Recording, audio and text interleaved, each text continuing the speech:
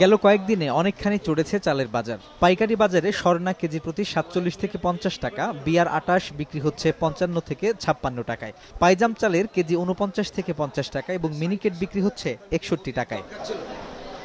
ঊর্ধ্বমূল্যের কারণ হিসেবে চাল সরবরাহে মিলারদের গড়িমসিকে দায়ী করছেন বিক্রেতারা। দেশে সামগ্রিকভাবে চালের ঘাটতি নেই উল্লেখ করে তাদের দাবি, মিল মালিকরা চাইলে বাজার স্বাভাবিক হবে। যত বড় বড় মিলাররা আছে, যারা হাজার হাজার কোটি টাকা ব্যাংকে দিয়ে লোন নিয়ে এক বৈশাখের মাল আরেক বৈশাখে বেচার জন্য মজুদ করে রাখছে।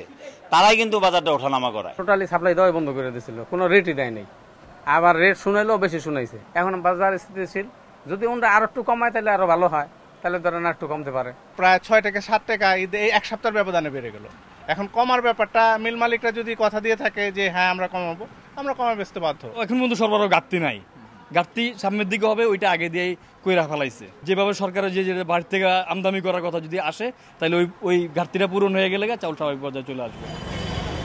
এই অবস্থায় নিম্ন আয়ের মানুষের জন্য সরকারের ওএমএস কার্যক্রমকে স্বাগত জানিয়েছে ক্রেতারা। তবে আতপ নয় সেদ্ধ চাল সরবরাহ করলে মানুষের আগ্রহ বাড়বে বলে অভিমত তাদের। আমি আজকে নিলাম চালটা দেখার জন্য যে বাসায় কি দেখব চালটা ভালো কিনা বন্ধ। যদি ভালো হয় তো আবার পরবর্তীতে আবার আবার আসব আমি। সরকার যে চাউল দিয়েছে এই চাউলের জায়গায় যদি সেদ্ধ চাউল দেয় অটোমেটিক বাজার কমে যাবে। আমরা সবসময় সিদ্ধ চালের ভাত খাই এখন দিচ্ছেন আতপ চাল।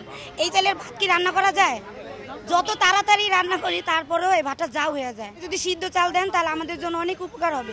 এই চাল দিয়ে দেখেন একটা লোকও আসে না নিতে। উপজেলা পর্যায়ে এই কার্যক্রম চালু করার সুফল প্রত্যন্ত অঞ্চলের দরিদ্র মানুষ পাবে বলেও মনে করেন তারা।